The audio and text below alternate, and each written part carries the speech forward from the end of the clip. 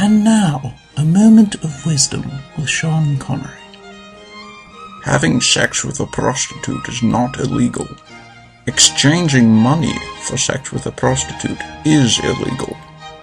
So remember, it's not payment for services rendered. It's a tax-deductible gift. Tune in next time for more Moments of Wisdom with Sean Connery.